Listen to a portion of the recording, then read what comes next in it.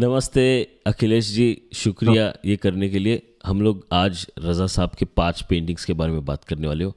आ, वाले हैं मेरी हिंदी इतनी अच्छी नहीं है फिर भी मैं आप प्लीज़ मुझे संभाल लेना।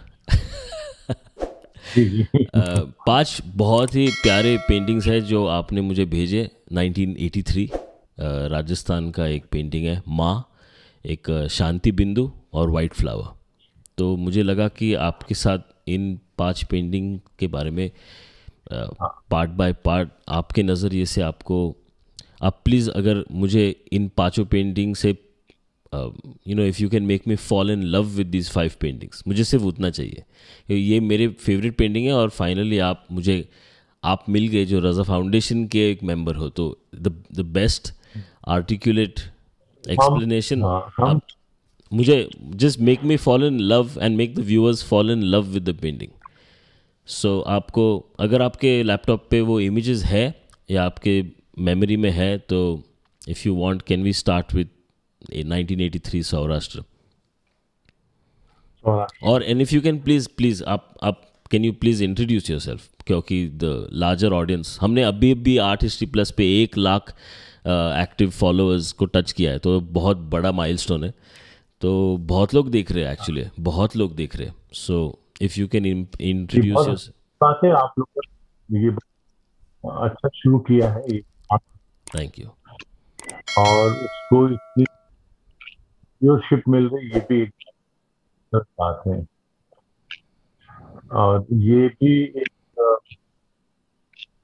मेरे ख्याल से रेयर चैनल है जिसपे आपके ऊपर बात या सिर्फ़ बात की जाती है। तो ये बहुत ही खूबसूरत बात है और ये इसके लिए मैं आपको बधाई देना चाहूँगा। और दूसरा मैं चाहता हूँ कि हम लोग पेंटिंग बात शुरू करें तो माँ लौट कर जब आऊँगा इस चित्र से शुरू करें। और ये एक चित्र अपने में रजा साहब का मास्टरपीस कहा जाना चाहिए क्योंकि इस तरह का चित्र जो है उन्होंने बनाया बड़ी शिद्दत से बनाया और उसका एक दूसरा कारण यह भी है कि इस चित्र के साथ उनके जो संबंध है वो अपने देश के साथ जो संबंध है उसको उजागर करते हैं right. तो ये एक जो तड़प है अपने देश के प्रति और अपने माँ के प्रति तो माँ एक यहाँ पर मेटाफर की तरह इस्तेमाल करते हैं दादा और वो देश से उसको रिप्लेस करते हैं। और ये जो कविता है, ये अशोक वाजपेयी की कविता है लौट कर जब आऊँगा। और ये अपने में एक अद्वितीय कविता है, जिसमें एक मनुष्य की जो बेचारगी है, उसकी सारी उपलब्धियों के बावजूद उसकी माँ के लिए वो एक बेटा ही है। और उस बेटे के सामने ये संकट है कि अगर वो लौट करके जा रहा है अपनी माँ के पास तो माँ के लिए क्या लेके जाना चाहता है? और वो माँ को ऐसी कौन सी चीज़ है जिस जो पसंद आएगी? तो क्या लाऊ तो वो सब याद करता है हाँ बट पूछ रहा है वो, वो सब वो याद पूरी पूरे हम्म। हम सबको पूछ रहा है कि अगर अगर तुम एक माँ के लिए वापस कुछ लेके आओगे तो क्या लेके आओगे? हाँ तो वो एक्चुअली खुद से भी पूछ रहा है कि वो और उसको अपना व्यर्थता बोध भी गहरा है कि ये सब भी किसी काम का नहीं है। और उसको यह भी पता है कि माँ को सिर्फ़ मैं चाहिए मैं चाहूँ मेरा जाना ही उसके लिए सर्व सर्व सभी चीज़ों का लौटना है। तो ये जो लौटना है इसको लेकर के रजा के मन में जो एक तड़प है और जो बाद में उन्होंने पूरी भी साठ साल वो फ्रांस में रहते हैं और फिर उसके बाद अपने घर लौटते हैं। तो ये जो लौटना है, रजा ने इस चित्र में बड़े खूबसूरत ढंग से लौटने की तड़प जो है खूबसूरत ढंग से पेंट पेंट की है। और हम देखते हैं कि इसमें रंगों का इस्तेमाल भी उन्होंने उनकी अपनी जो कलर पैलेट है उसी तरह उन्होंने किया है। और ये चित्र जो है अपने में उस कविता का प्रकरण नहीं है प्रकटन नहीं है।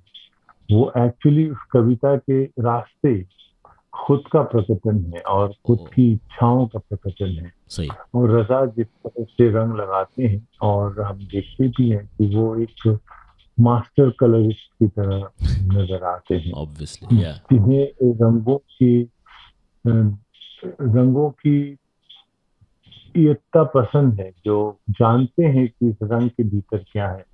जब आप रंगों के साथ काम करते हैं तो एक कोई भी रंग जो है अपने को जब प्रकट करता है तो वो एक संदर्भ में प्रकट करता है। आप उसके साथ कौन सा रंग लगाते हैं? ट्रू तो रजा के इस मामले में बहुत ही उस्ताद थे जो किस रंग को किस रंग के साथ लगाया चाहिए विशारद हाँ हाँ इस- उस्ताद थे।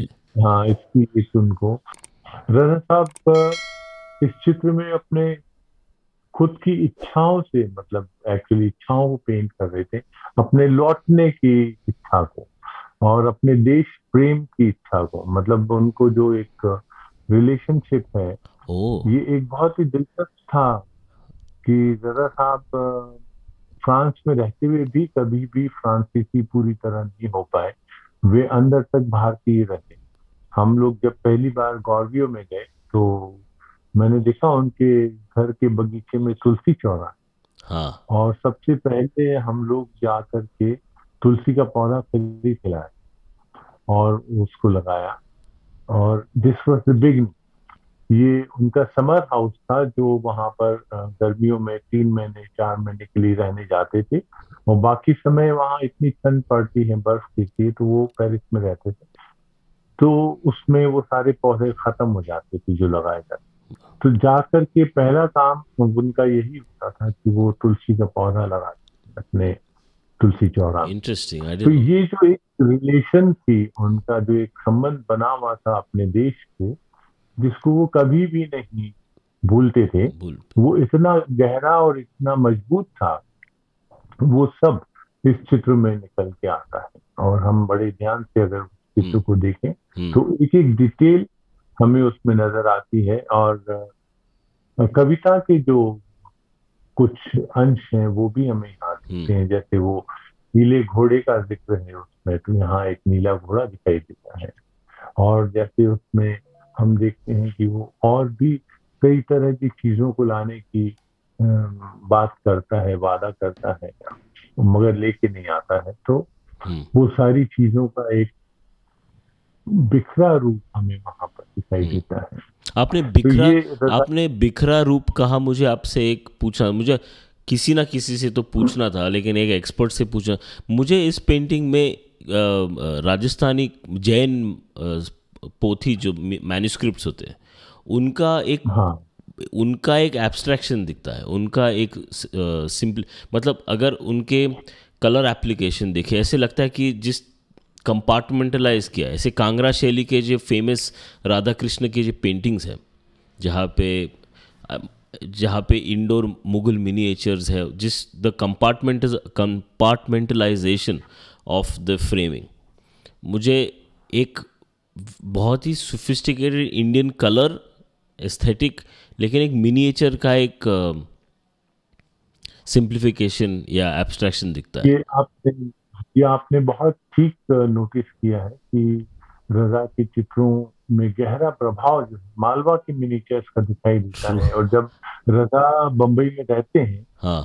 और प्रिंस ऑफ़ वेल्थ म्यूज़ियम के पास मालवा मिनीचर का एक बड़ा समृद्ध कलेक्शन है तो रजा उन चित्रों के साथ रूबरू होते हैं और लगातार उन चित्रों को देखते हैं। और इनका जो ग्रुप था हम्म। प्रोग्रेसिव आर्टिस्ट ग्रुप जिसमें सूजा एक कैटलिस्ट का रोल प्ले कर रहे थे। तो सूजा के कारण जी रजा और हुसैन इन लोगों को जो भारतीय चित्रकला और भारतीय जो कलाओं के जो स्रोत हैं उनसे सीधा संबंध बनाने का एक मौका मिला। और ये बहुत सही है। अगर हम देखते हैं रजा की यात्रा में तो पाते हैं कि वो शुरुआत अपनी लैंडस्केप से करते हैं और जब वो फ्रांस चले जाते हैं तो फ्रेंच लैंडस्केप करना शुरू होता है। हम्म। और जब अजीत मुखर्जी की किताब छपती है तंत्र करके उस के बाद रजा का ये नया रूप प्रकट होता है जिसमें मिनीचर के साथ उनका एक गहरा संबंध और साथ ही तांत्रिक आर्ट के साथ एक रिलेशन दिखाई देना शुरू होता है। ट्रू तो ये जो सिंबल्स उसमें बनाए दिखते बनते दिखते हैं जो ट्रायंगल्स हैं जो सर्कल्स हैं जो स्क्वायर्स हैं ये सब तंत्र से आ रहे हैं और इन सबको वो एक अर्थ मुक्त करके अपने जो उनके जो रूढ़ अर्थ हैं उनसे मुक्त करके एक नया अर्थ प्रदान करते हैं। रजा की खूबसूरत बात यह है कि वो न सिर्फ़ रूपाकारों को एक नया अर्थ नया रूप प्रदान करते हैं बल्कि उन रंगों की भी नई तक खोजते हैं और नए ढंग से उनको प्रस्तुत करते हैं। मेरी नज़र में आ, मुझे ऐसा कोई चित्रकार नज़र नहीं आता है। रजा के पैरेलल जो रंगों का इस तरह से इतना जीवंत इस्तेमाल करता है। ट्रू हम्म।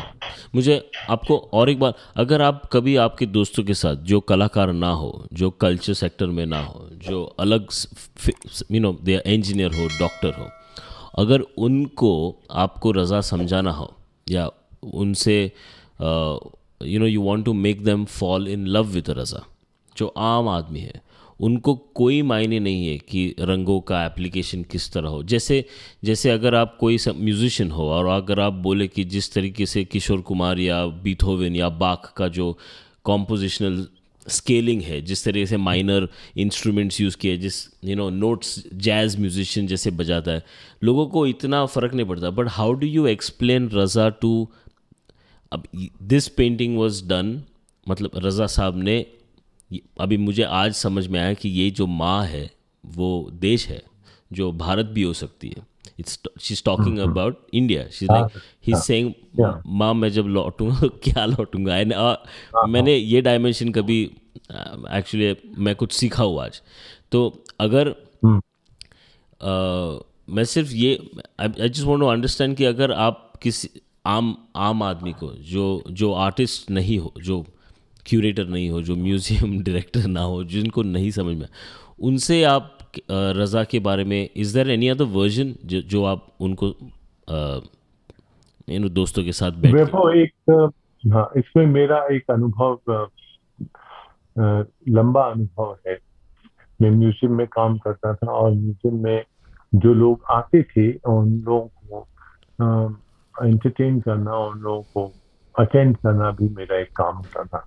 तो उसमें मैंने ये देखा कि जो साधारण व्यक्ति हम्म। जो जिसका देखना जागा हुआ है हम्म। उसको मेरी ज़रूरत नहीं थी मगर जो ऐसा है जो बहुत ही अपने फ़ील्ड का एक्सपर्ट है किसी साइंस का मास्टर है या किसी जूलॉजी में या किसी क्षेत्र का विशेषज्ञ है और या कोई बड़ा अफसर है या कोई बड़े अहदे पर मौजूद एक व्यक्ति है वो अपने को बिल्कुल असहाय पाता था किसी भी चित्र के सामने चाहे वो रजा का हो चाहे वो विवान सुंदरम का हो या रामचंद्रन का हो। तो ये जो एक विजुअल इलिटरेसी है। ये उस सो कॉल्ड लिटरेट समाज में बहुत गहरी है और उसी वक्त अगर जो आदिवासी आते थे गाँव से वो रजा के चित्र को उतना ही एंजॉय करते थे जितना कि वो अपने चित्रों को कर रहे होते थे। क्योंकि उनके देखने पर कोई पर्दा डाला नहीं था। और ये जो शहर में रहने वाला पढ़ा लिखा व्यक्ति है उसका देखना बाधित है।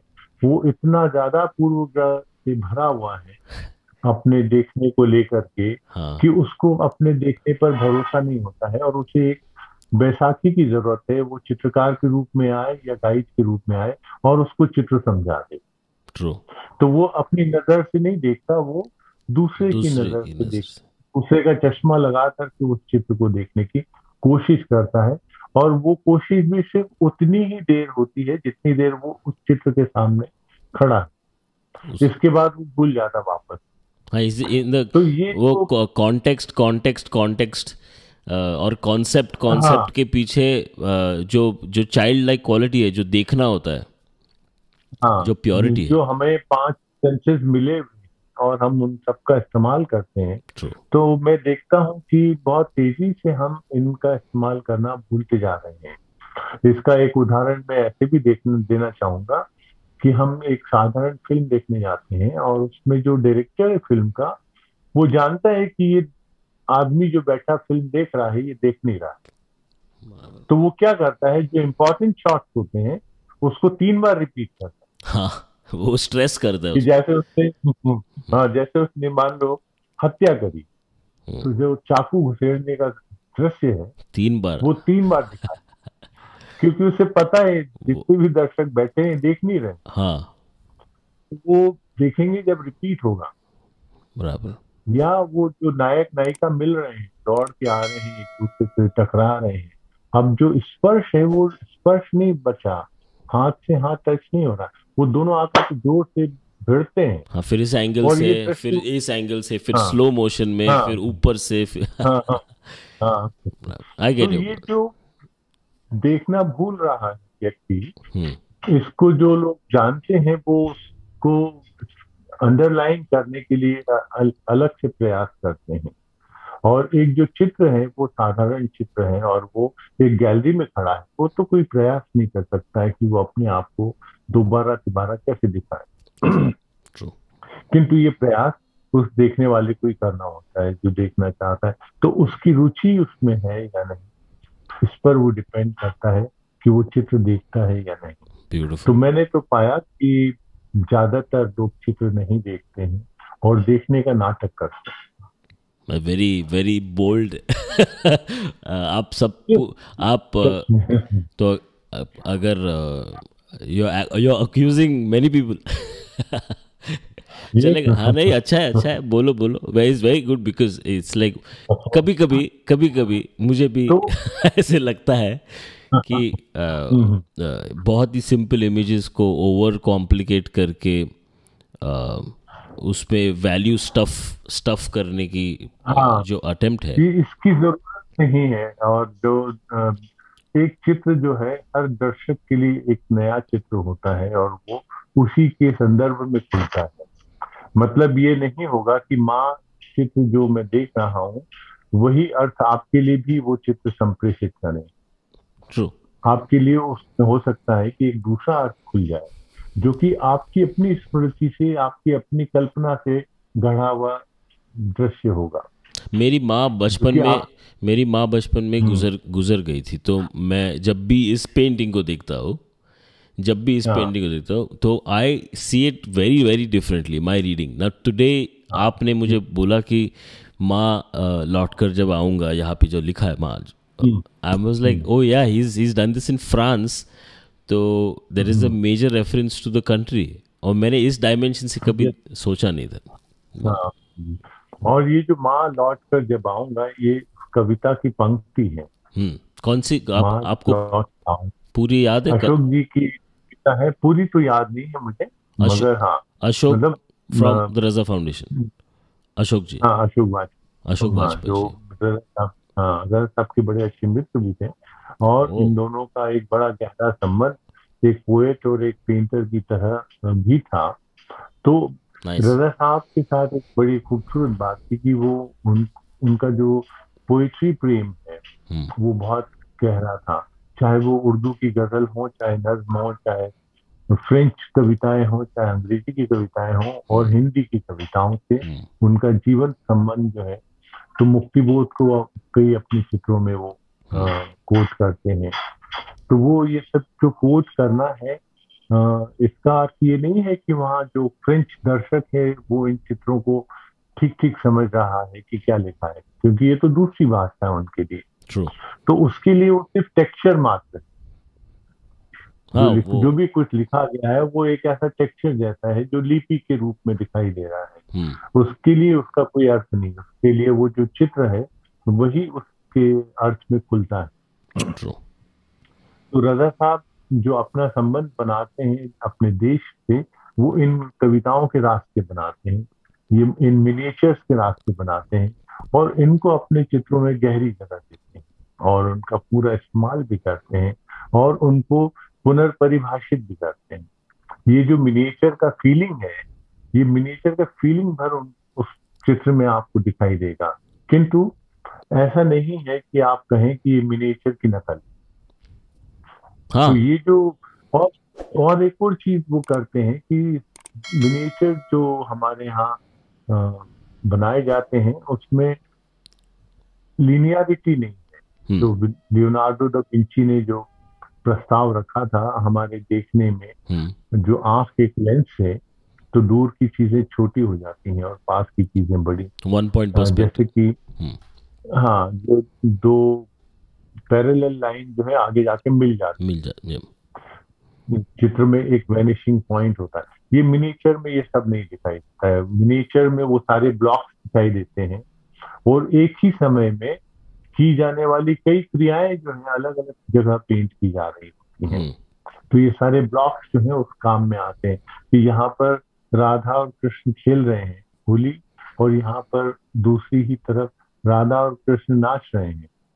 तीसरी ही तरफ़ मतलब ऐसे अलग अलग स्पेसेस में वो अलग अलग टाइम स्टैम्प्स है। समय हम्म, हाँ उसमें लिनियरिटी नहीं उसमें पैरल सारे समय एक साथ वहाँ खड़े हैं।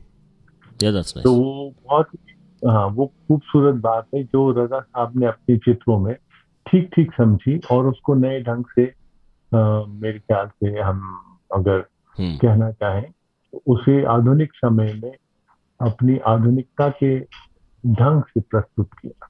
वेरी ब्यूटीफुल तो ये बड़ी खूबसूरत बात थी उनकी। दैट्स ग्रेट टू मुझे मुझे आज ये पेंटिंग थोड़ा और I fell in love with it a little more और एक और एक मैं जब भी इस पेंटिंग को देखता हूँ इट्स जस्ट अमेजिंग हाँ। Let's let's shift to another painting of your choice. Choose either white flower or shanti bindu or हाँ वाइट फ्लावर से हम शुरू करते हैं। White flower अम, मैं देख रहा हूँ white flower की वाइट फ्लावर बड़ी खूबसूरत पेंटिंग है राणा साहब की।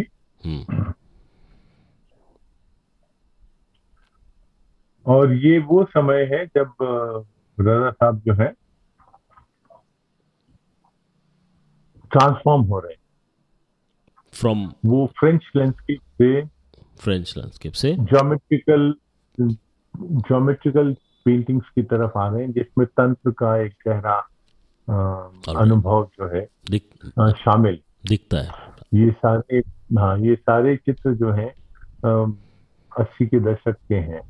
और उस वक्त ये जो एग्जीबिशन हुआ था इस एग्जीबिशन में राजा साहब ने ज़्यादातर जो चित्र बनाए थे जो दिखाए थे ये एग्जीबिशन मैंने देखी थी बम्बई में।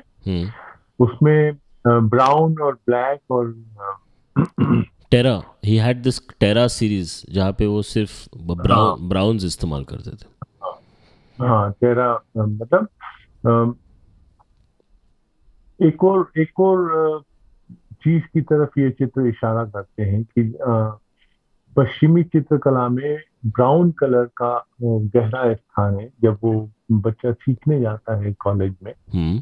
और चित्रकला सीखना शुरू करता है तो उसको ब्राउन कलर से ही शुरू करना है एक ब्राउन कलर का वॉश देना होता है और ब्राउन कलर से ही ड्राइंग करना होती है और ब्राउन कलर इसकी बेसिक यू नो कलर जो एक धूसर ढंग से वहाँ के माहौल को भी प्रदर्शित करता है जो एक तरह का डल माहौल है और एक सूरज विहीन माहौल है जिसमें कोई भी कुछ भी उजला नहीं है। ना? ट्रू साल में से दस दस महीने जो है वहाँ पर कोहरा छाया हुआ है धुंध है हाँ डिप्रेस है। बहुत डिप्रेसिंग डल है एटमॉस्फियर है।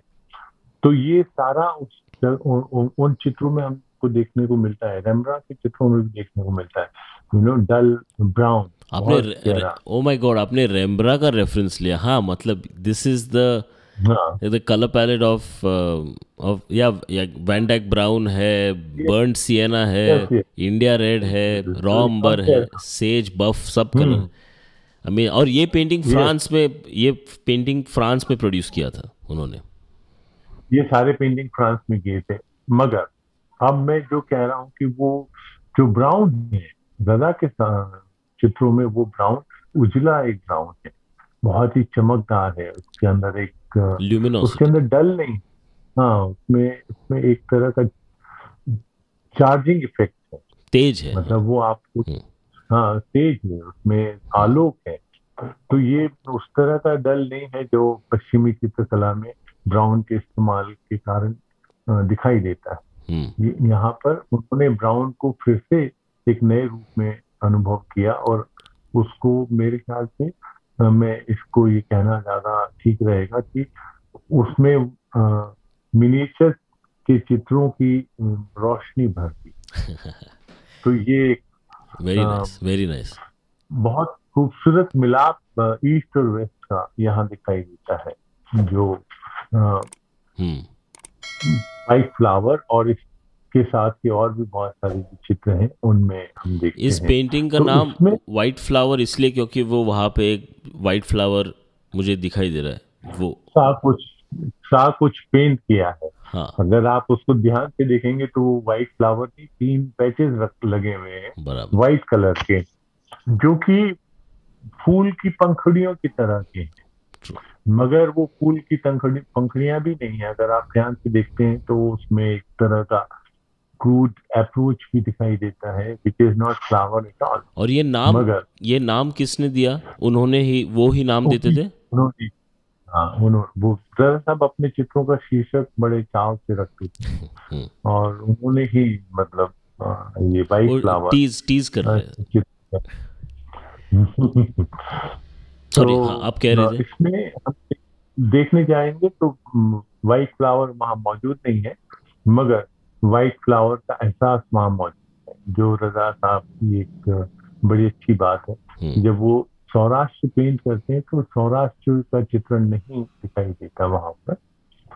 वहाँ पर सौराष्ट्र की फीलिंग है जो रजा साहब की अपने धरती के प्रति जो फीलिंग है अपने देश के प्रति जो फीलिंग है this is a great point मैं सौरा मैं सौराष्ट्र देख रहा हूँ। आप आप मुझे आप बताइए ये यही पॉइंट है जहाँ पे हम हाँ। जहाँ पे हम अपने दोस्तों को जो इंजीनियरिंग है जो पूरे देश के जो हमारे दोस्त है भाई बहन हाँ। है उनको जब रजा साहब के बारे में एक्सप्लेन करते हैं मैं ये पॉइंट आप please can you elucidate can you explain this कि ये जो भाव आपने कहा सौराष्ट्र का जो फील है आपके हिसाब से आप इसको शब्दों में कैसे बोल सकते हो? ये जो जो फील है क्योंकि मेरे सामने अभी मैं 1983 सौराष्ट्र पेंटिंग देख रहा हाँ, हूँ हाँ, इट्स हाँ। फैंटास्टिक हैं। पेंटिंग मैं तो बहुत ही वो बहुत खूबसूरत पेंटिंग है वो और उसमें जो हरा रंग लगाया है वो राजा साहब ने बहुत ही अनयूजुअल किस्म से लगा दिया है। जनरली राजा साहब हरे रंग का इस्तेमाल उनके दूसरे चित्रों में ऐसा नहीं दिखाई देगा। बहुत ही डेफिनेट इस्तेमाल होता है। इसमें एक बहुत बिखरा हुआ एक लैंडस्केप का की तरह का किंतु वो पेड़ भी नहीं वो एक हरियाली है सौराष्ट्र की। यहाँ पर दादा साहब जो लैंडस्केप बना रहे हैं सौराष्ट्र का वो एक कोई हम्म, छोटी सी जगह नहीं है। वो एक विहंगम फीलिंग है। एक बड़े इलाके की बात कर रहे हैं जो कि बहुत अ, कई चीज़ों को अपने में समेटा हुआ है। और उसमें वो उसके अपने पहाड़ हैं उसकी अपनी नदियाँ हैं उसके अपने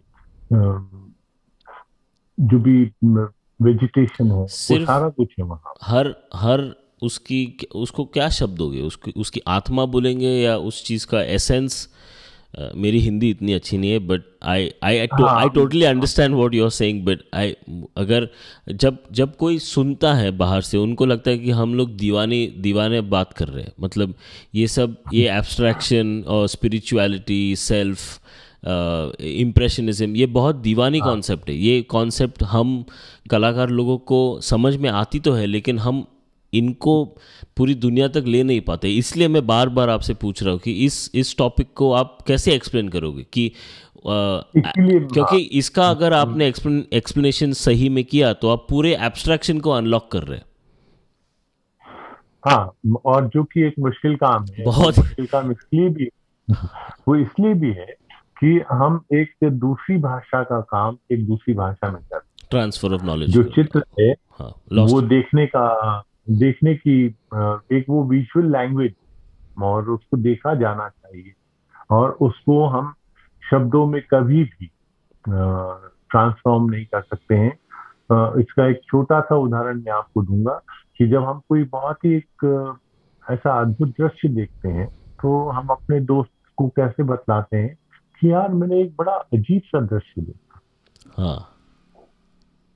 तो ये जो अजीब सा देखा इसमें बहुत सारी चीज़ें बहुत सारी फीलिंग उसकी आ जाती है।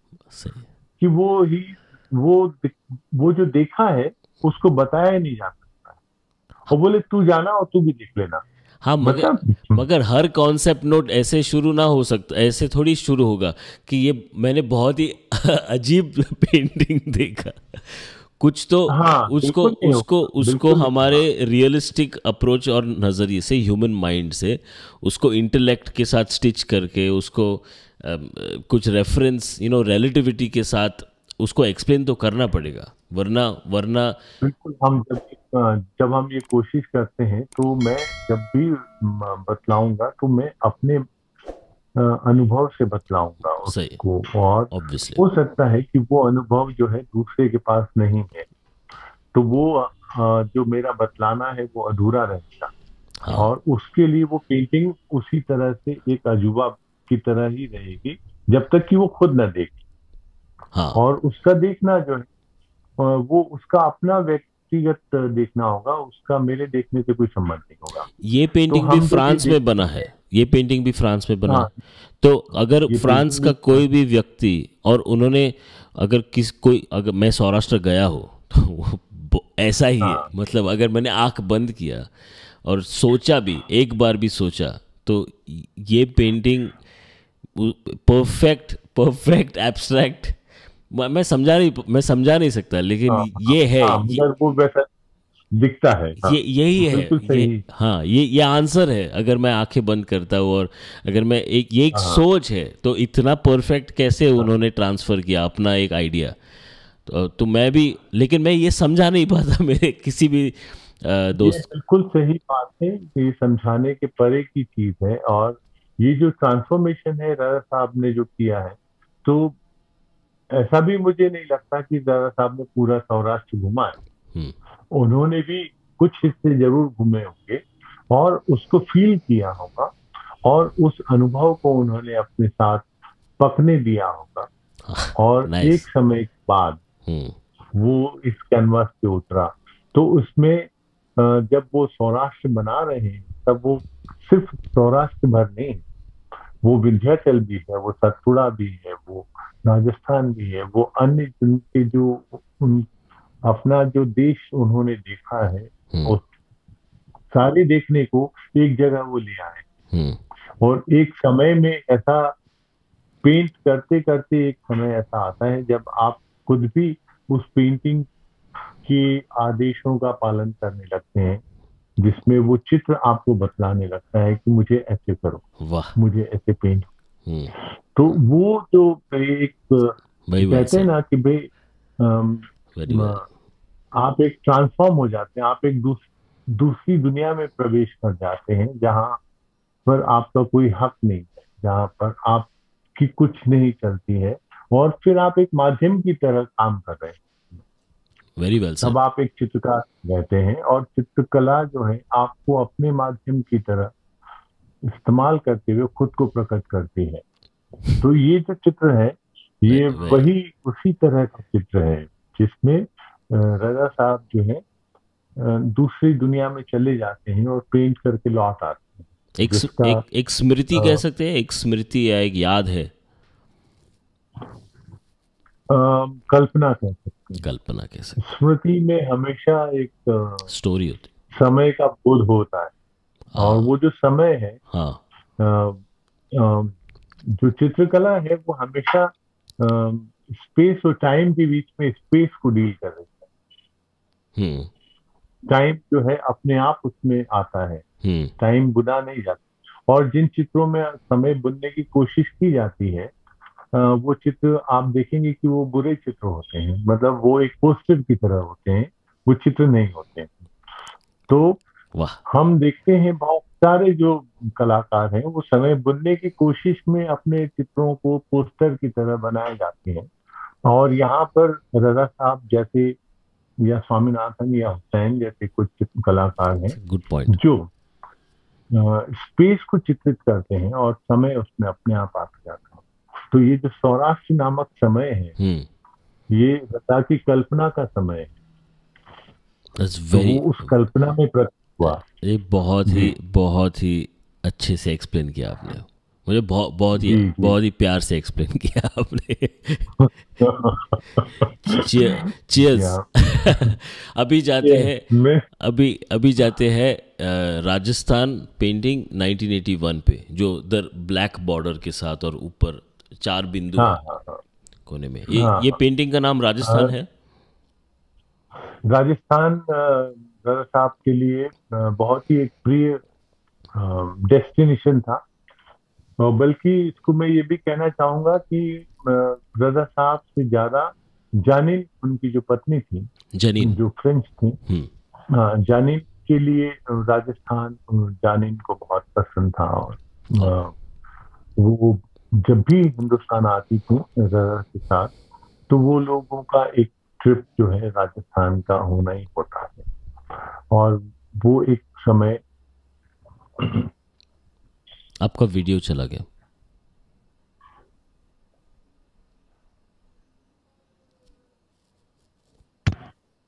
हाँ कम बैक यार मैंने डोंट डिस्टर्ब वाला फ़ोन कर रखा था। होता है होता तभी वो हो गया। होता है।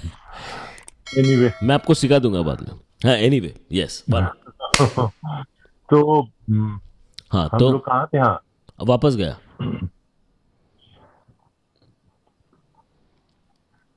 वही फ़ोन वाला फ़ोन चक्कर कर रहा था नो प्रॉब्लम तो हम लोग वो ज, जनीन और रजा साहब हाँ। राजस्थान। राजस्थान हम जाते ही जाते थे और राजस्थान के कई शहरों का उन्होंने मतलब अपना एक समय गुजारा वहाँ रह करके दस दिन पंद्रह दिन हम्म, जो भी है। हम्म, और इस तरह रजा साहब ने 26 पेंटिंग करे हैं राजस्थान जिनका शीर्षक है। और वे अपने में एक दूसरे से बहुत अलग चित्र हैं। इसीलिए हम देखते हैं कि इन चित्रों में वो राजस्थान शीर्षक तो दे रहे हैं मगर वो राजस्थान नहीं है। फिर? वो उस राजस्थान की फीलिंग है। तो- उस उस राजस्थान की फीलिंग है। फीलिंग है। और बल्कि एक चित्र तो राजस्थान का ऐसा है जिसमें बहुत सारा ज्योमेट्री है। मतलब इट्स नॉट इतना फ्री नहीं है जो ये चित्र आप देख रहे हैं। वो वो बिल्कुल ही अलग। बल्कि जो 26 चित्र हैं 26 के 26 एक दूसरे से बहुत अलग है। बहुत अलग और जो सबसे खूबसूरत एक चित्र है राजस्थान का जो भारत भवन के कलेक्शन में है जो मैंने पहली बार देखा था हम्म, वो अपने में एक बहुत ही दिलचस्प चित्र है। हम्म, जो अपने में बहुत दिलचस्प चित्र है जिसमें आपको ये लगता है कि एक मिनिएचर पेंट कर दिया है आधुनिक ढंग से। ओके और वो बहुत पेंटिंग है जो इन सब छब्बीस जो हमारे पास फोटोग्राफ हैं जिन राजस्थान के उसमें वो नहीं। तो इस तरह से हम देखते हैं कि राजस्थान नामक चित्र रजा साहब ने अपनी राजस्थान के प्रति जो भी उनका अपना एक अनुभव था और उनका अपना प्रेम था उसको दर्शाने के लिए लगातार पेंट किए हैं। किंतु उनका राजस्थान से कोई संबंध नहीं है। हम्म, हाँ, वो राजस्थान का लैंडस्केप नहीं है। वो राजस्थान के उन रंगों का और उन ऑब्जेक्ट्स का या उन जगहों के ऊपर जो उन्होंने जाके देखा है उन सब का चित्रण नहीं है। हम्म, यानी जैसलमेर गए तो उन्होंने जैसलमेर पेंट नहीं कर दिया है। धरती धौरारी करके उन्होंने चित्र बनाया था जिसमें हम्म, आपको फीलिंग आ सकता है कि रेगिस्तान है मगर अ, वो रेगिस्तान का वैसा हूबहू चित्र मतलब ऑप्टिकल रेटिनल इमेज नहीं है वो। नहीं है। मतलब उसके खिलाफ ही रहे हैं दादा। शुरू से हम देखते हैं तो वो जब लैंडस्केप कर रहे हैं अ, 1940 के दशक में तब भी वो इम्प्रेशनिस्ट ढंग से लैंडस्केप कर रहे हैं। क्या उसमें कोई क्या आप रिप्रेजेंट करने का आइडिया नहीं। हाँ। क्या आपको इस पेंटिंग राजस्थान पेंटिंग देख के क्या आप उनके पेंटिंग स्टाइल या टेक्निक के बारे में कुछ एक्सप्लेन कर सकते हैं जिससे हमको because I can see like ये पेंटिंग लेफ़्ट क्वाड्रेंट में टॉप इतना ब्राइट स्पॉटलाइट मतलब ऐसे जैसे कि पीछे से सूर्य आ रहा हो मतलब एक एक ट्रांसपेरेंसी है। हाँ। उसका जो अ, जो जो कलर का जो सैचुरेशन है। जो जिस जिस क्वालिटी है पेंटिंग दिस इज़ लाइक अगर ये गिटारिस्ट रहते या म्यूजिशियन रहते या तो ये जैज म्यूजिशियन रहते तो this is like the master level का control over luminosity and colour तो ऐसा कुछ हाँ। है जो आप स्टूडेंट्स को जो आप स्टूडेंट्स को या आगे वाले आगे वाली पीढ़ी को you know that you can explain technicals I think this painting is perfect to हाँ ये ये दादा साहब के पेंट करने का भी ढंग था और वो जो एक आलोक उनके चित्रों में दिखाई देता है वो हम उसको वो अपने ढंग से पेंट करते थे कि जो सफ़ेद जगह है जहाँ पर सफ़ेद छूटा है हम्म। वो येलो सा दिखना चाहिए तो वो एक येलो वॉश भी दे देते थे। और साहब के चित्रों में जो एकदम फ़र्क आया है, जब उन्नीस सौ में वो जाते हैं बर्कले पढ़ाने के लिए बर्कले यूनिवर्सिटी उन्हें इनवाइट करती है और जहाँ पर वो ज़्यादा समय नहीं रहते हैं छह सात महीने में लौट के आ जाते हैं कि ये मेरा काम नहीं है पढ़ाने का। हम्म। किंतु 1960 में एक्रिलिक कलर का हम्म, की खोज हो चुकी थी और जब ये वहाँ जाते हैं तिरसठ में तो उनको वो एक्रिलिक कलर्स मिलते हैं। ओ ये एक्रिलिक पेंटिंग है हाँ और उसके बाद उन्होंने कभी भी ऑयल में पेंट नहीं किया। ओ माय गॉड उस वक्त ये ट्रांजिशन पेंटिंग है। हाँ ये ये जो समय है ये समय तो हाँ। ये जरा साहब के जीवन में जो पेंटिंग में जो एक बड़ा बदलाव आता है उन एक्रिलिक कलर्स के कारण आता है जो उनके पैशन को ठीक से होल्ड कर पाता है। क्योंकि हम कंट्रोल प्रोसेस देखते हैं जब जब हम ऑयल पेंटिंग करते हैं तो आपको साल भर में एक पेंटिंग करने का मौका मिलता है क्योंकि आप लेयर दर लेयर जो है सूखने का इंतज़ार करते हैं और हम्म। उसको आपको उसी ढंग से फॉलो करना हाँ पड़ता वो है। और स्पॉन्टेनिटी वो स्पॉन्टेनिटी मैच हाँ, हाँ। हाँ तो ये जो स्पॉन्टेनिटी है और ये जो उनका अपना पैशन है ओ वाओ हाँ काम करते जाने का उसको ठीक ठीक होल्ड करने का काम जो है एक्रिलिक कलर्स ने किया। और उसके बाद से रजा के चित्र जो है उसमें हम एक ज़बरदस्त चेंज देखते हैं। और उसी के कारण मेरे ख्याल से ये जो ज्योमेट्री शुरू होती है उसी के कारण इन सारी चीज़ों में एक बड़ा बदलाव आता है एक चमक आती है एक आलोक दिखाई देना शुरू होता है रंगों का वैसा इस्तेमाल भी देखने को मिलता है जो ऑयल की तरह है और वैसा भी जो वाटर कलर की तरह है। हम्म। तो रजा उस मीडियम को भी एक्सप्लॉइट करते हैं और एक्सप्लोर करते हैं और बड़े खूबसूरत ढंग से उसको साध लेते हैं। तो वो जो मीडियम है रजा का गुलाम बन के उनका काम करता है। तो हम देखते हैं कि अपने चित्रों में हाँ। वो बहुत ठीक ठीक उसका उपयोग करते हैं। और कोई कलाकार इतना सुंदर ढंग से एक्रेलिक का इस्तेमाल करता होगा इसमें मुझे संदेह है। मगर कोई तो होगा। बहुत हाँ, होंगे मगर वो ओपेक ज़्यादा दिखाई देते हैं। अगर हम देखें हाँ, उसकी जो प्लास्टिसिटी तो है एक्रिलिक पेंटिंग की हाँ। हाँ हाँ। हाँ उसकी जो उस जो उसकी संभावनाएँ हैं उसको नहीं खोलते हुए दिखता कोई और कलाकार मगर साहब बहुत अच्छे से करते हैं। एक्रिलिक पेंट उसको जहाँ पर हाँ जहाँ पर ऑयल की तरह इस्तेमाल करना है वो ऑयल की तरह करते हैं जहाँ पर वाटर कलर की तरह।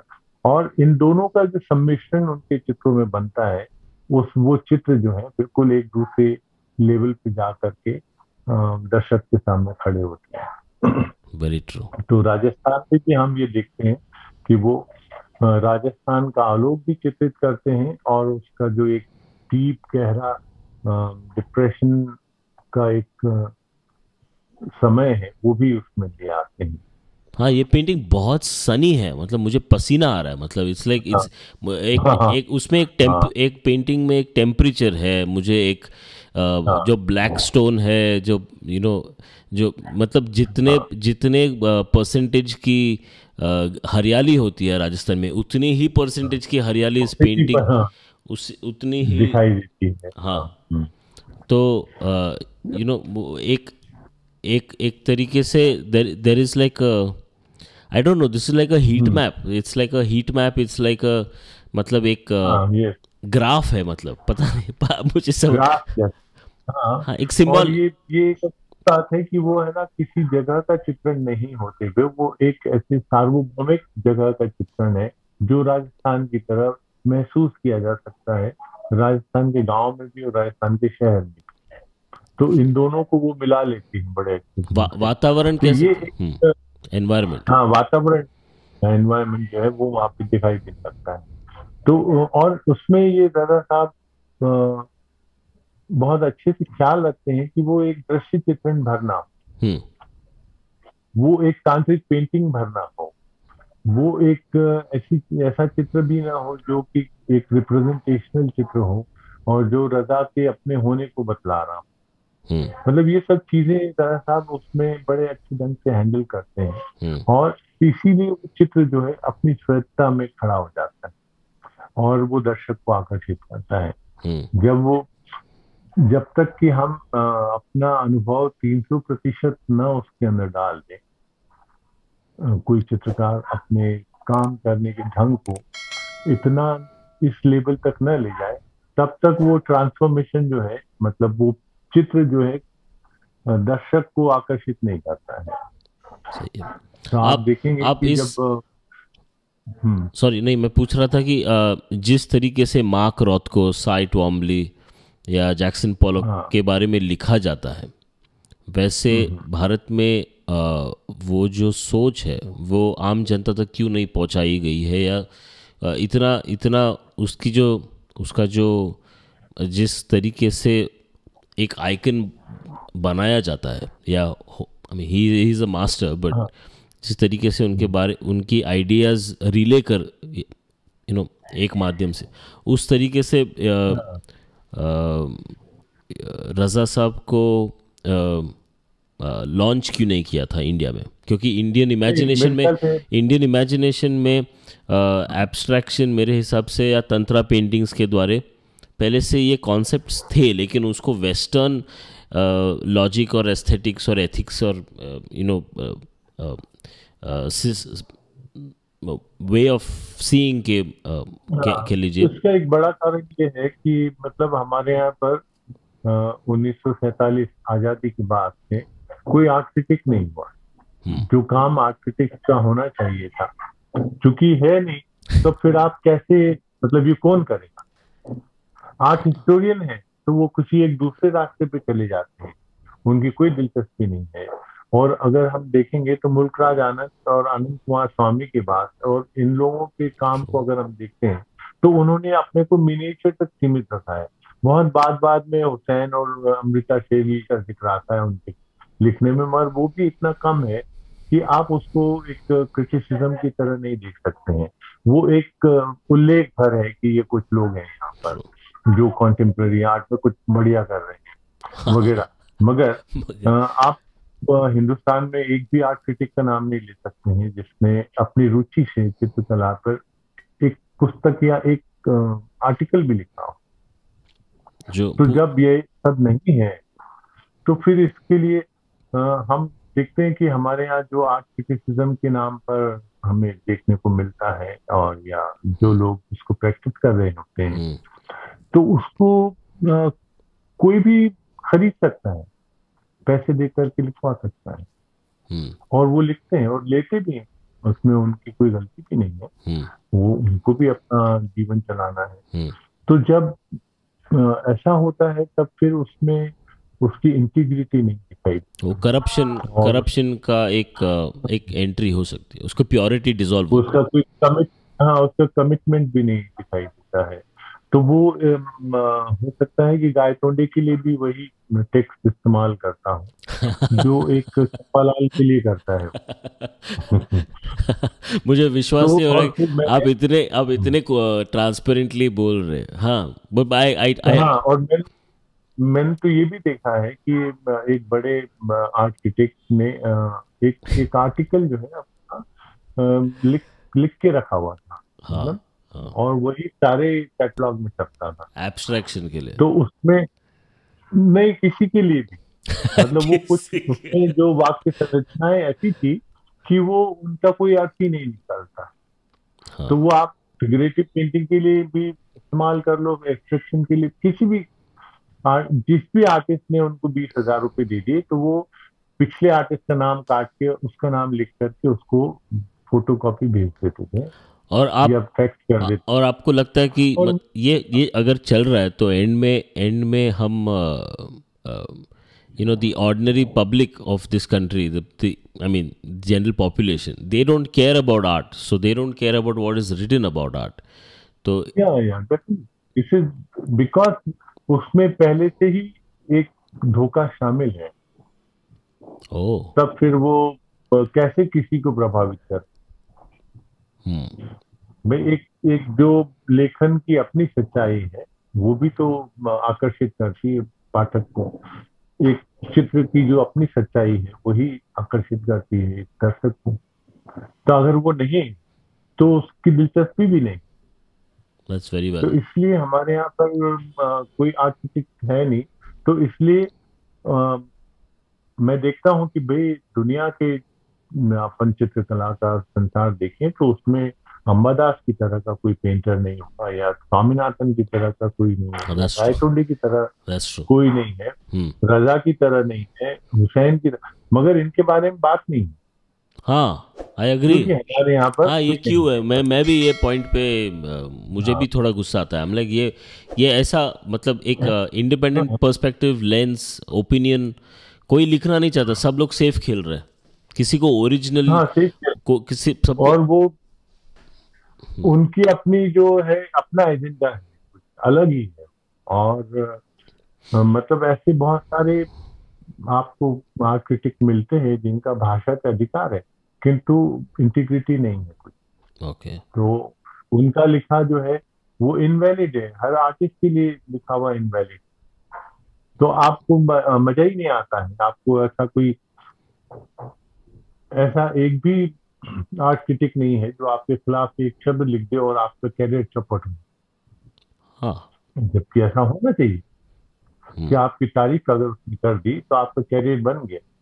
हम्म। तो ऐसा नहीं होता। एक भी नहीं है उतना पावरफुल उतना कमांडिंग हाँ। हम्म। उतना तो उतना ऑनेस्ट कह सकते हैं। मतलब उतना और ये ऑनेस्टी जो है हाँ ये ऑनेस्टी उसकी अपनी रुचि से पैदा हो। अगर उसकी रुचि है आर्ट में अगर उसकी रुचि चित्रकला में और हम्म। अन्य विधाओं में तो वो अपने रुचि से लिखेगा न कि पैसे के दबाव हम्म। मैं ये तो आपकी आप, आपका ये जो पॉइंट है मैं याद रखूँगा। मैं इस पे काम करूँगा।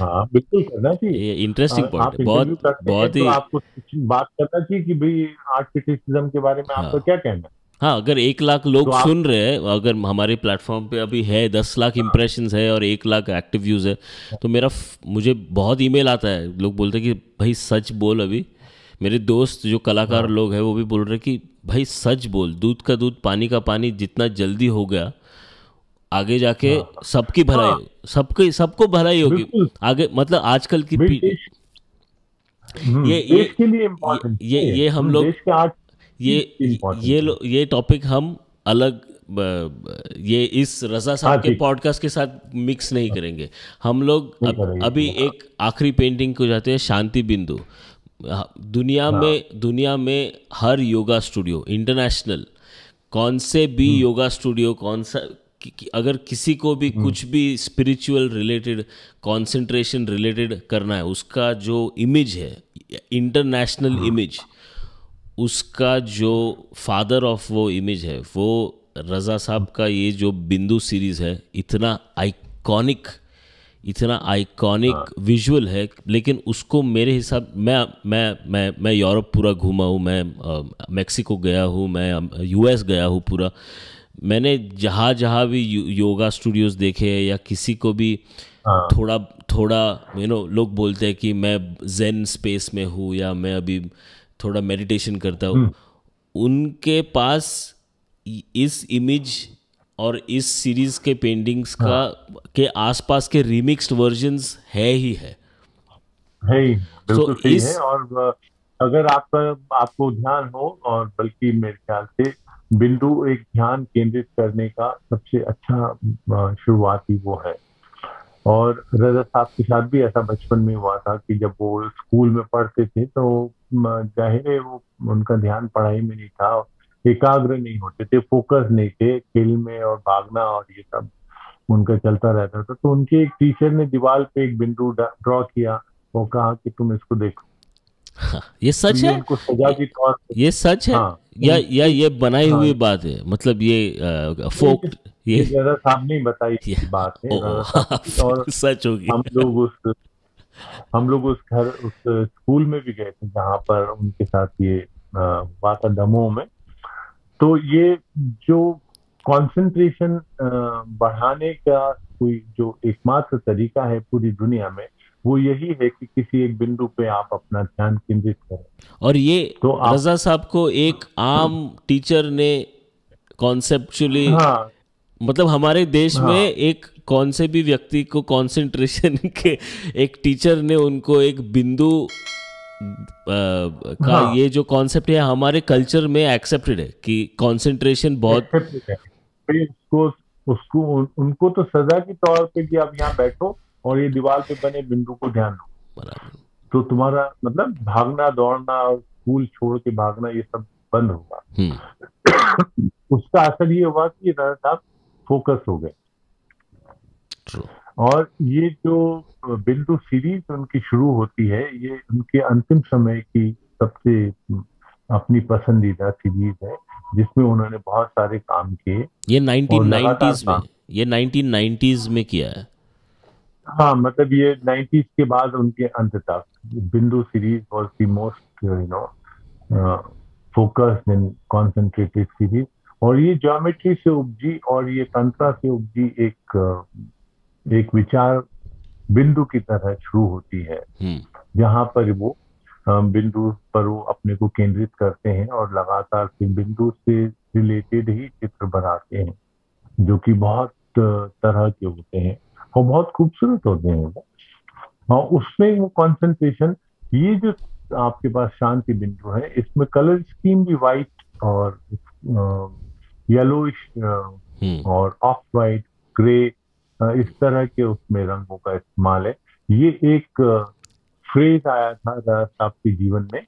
एक कुछ पाँच साल का समय का एक फ्रेज था जिसमें उन्होंने अपने चित्रों को अपनी रंग की जो पैलेट थी उसको बदल करके अपने को फोकस किया था हम्म इस तरह के रंगों की तरफ़ जो सफ़ेद है येलो है ग्रे है।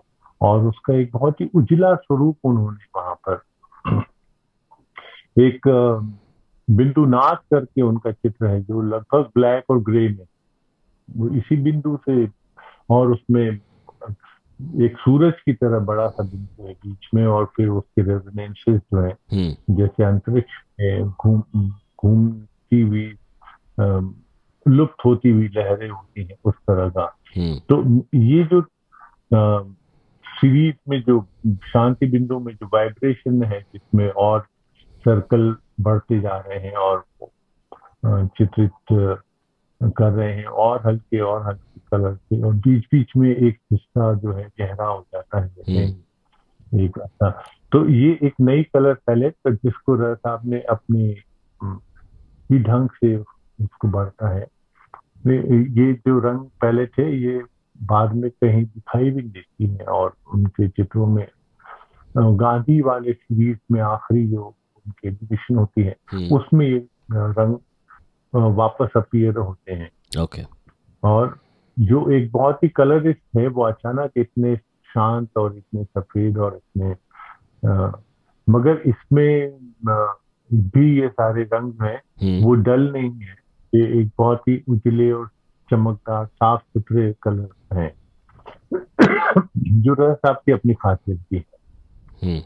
और ये, ये ये मुझे ये पेंटिंग इट ऑल्सो सीम्स कि वो बहुत मच्योर हो गया क्योंकि उनका जो कलर एप्लीकेशन है यू you नो know, जब वो जवान थे तब उनका हाथ बहुत ही फोर्सफुल था। और जब जैसे maybe as he became older do you feel that he became a little more slow. S- s- yeah, slow, but also more controlled. Like he he could not.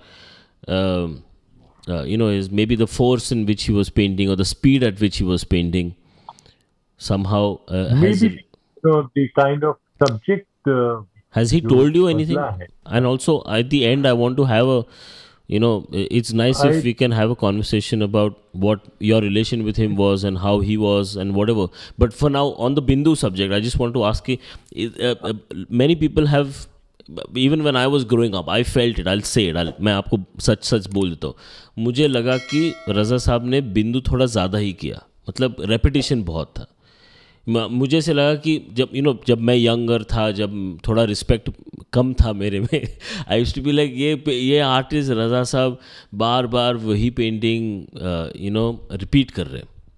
और फिर हाँ, बाद में जब जैसे मैं भी पेंटिंग करता हूँ मुझे से एक एक मच्योरिटी आती है way you you you like okay you know I understand this this feeling अभी मैं भी मुझे समझ में आ रहा है कि वो मुझे जो कहना है मुझे एक बार हाँ, हाँ. उसको मुझे, मैं वो आइडिया को रिफाइन करते जा रहा हूँ।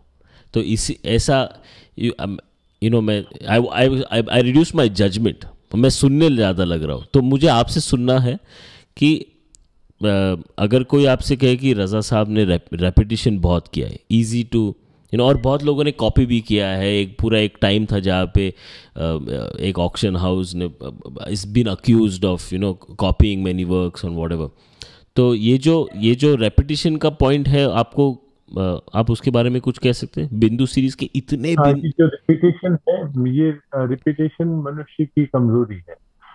मनुष्य मानव जाति की कमज़ोरी है इनफैक्ट और अगर हम देखें तो हमारी अपब्रिंगिंग में ये रिपीटेशन लगातार मौजूद रहता है। हम किसी बच्चे को अगर कोई चीज़ बताते हैं तो एक बार नहीं बताते पचास बार बताते हैं।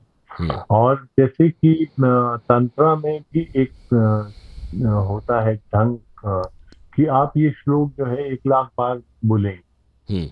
तो एक लाख बार बोलने के बाद ही आप दूसरी स्टेज पे पहुँचते हैं जहाँ पे आपको एक दूसरा श्लोक मिलता है जिसको आपको फिर से एक लाख बार बोलना है।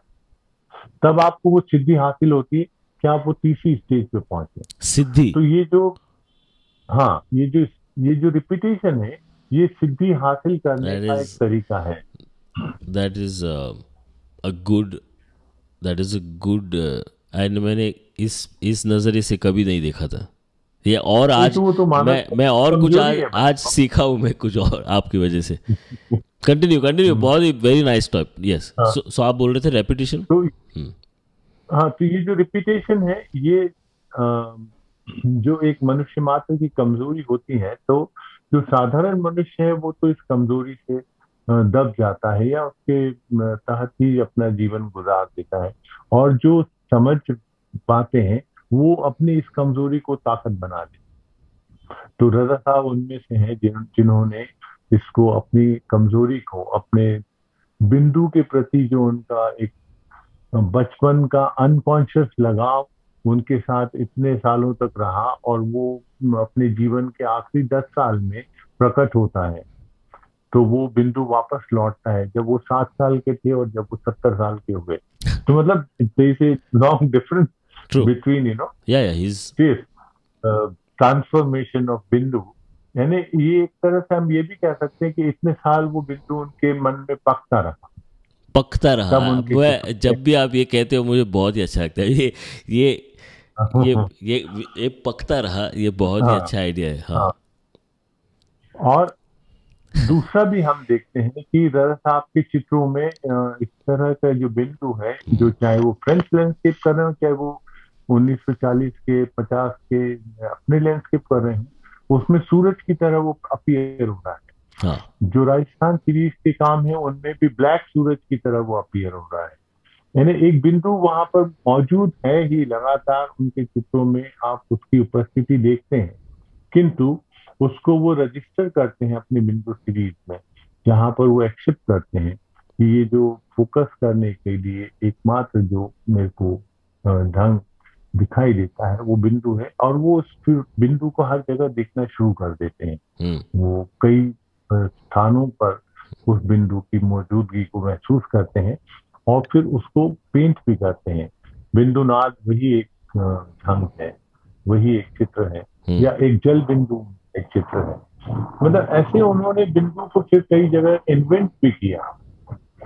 ट्रू ये very very clear clear articulation of an idea अभी जब भी मैं आई थिंक बहुत लोगों को समझ आएगा कि ये ये योगा स्टूडियो हाँ, हाँ। या ये स्पिरिचुअलिटी या ये सेल्फ या ईगो के साथ क्यों इतना रिलेटेड है ये ये आर्टिकुलेशन हाँ। बहुत हम्म। ही क्लियर था ऐसा हम्म। हम अपने पॉडकास्ट का ऑलमोस्ट एंड तक आए I just want to ask you आपके हिसाब से do you feel that you would like to share any any personal trivia that nobody knows about Raza Sahab जो आपने you know i know you went to france to meet him multiple times and that you know you have a very close relationship with him. You are uh, you you are you are a uh, board of director on the raza foundation. Yes. One of the trustees. One of the trustees. Mm. so what was i wanted to also ask you if you would if you would be okay enough to answer it. What was what is the principal uh, uh, uh found you know uh, the reason to start the Raza Foundation?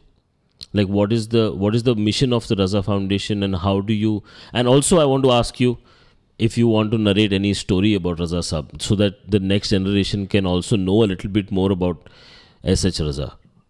Something personal, something Raza. that he told you, something you uh, learned from as a student, you know, you learned from him. Anything? anything? से तो ऐसी बातचीत होती रहती थी और वो तो खैर बहुत ही एक शाइस्ता इंसान थे।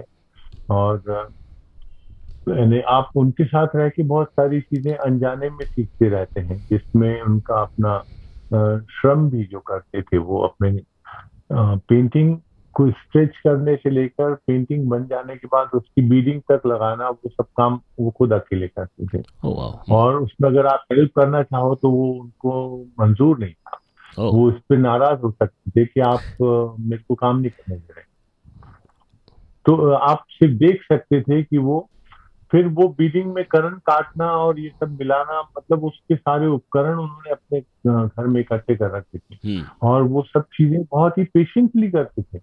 और वो बीडिंग करने के बाद पेंटिंग देख करके वो खुश होते थे और कहते थे कि ये ऐसा लगता है कि अब एक दुल्हन को घूंघट उड़ाया गया तो वो जो एक उसकी सुंदरता है उसको न सिर्फ़ महसूस करते थे बल्कि उसको शेयर भी करते थे। तो ये एक उनका अपना ढंग था और मेरे ख्याल से मैंने उनको इतना नियमित रूप से काम करने वाला पाया कि वो सुबह से लेकर के रात तक अपना काम अपने स्टूडियो में अपने चित्रों के साथ है पेंट करने लगा था।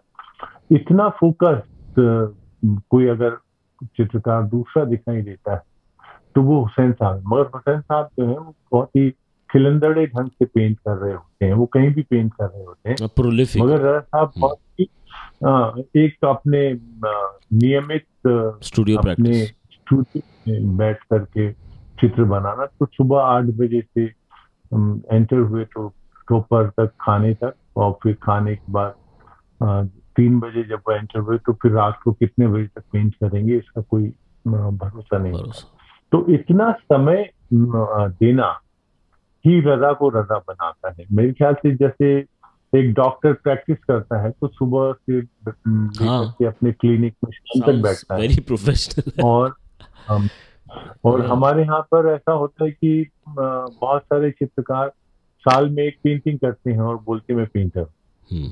तो उनका कोई संबंध ही नहीं है अपने पेंटिंग से हम्म। और वो एक लगातार इस ज़रूरत को महसूस भी नहीं करते हैं कि उनको पेंट करना चाहिए हम्म।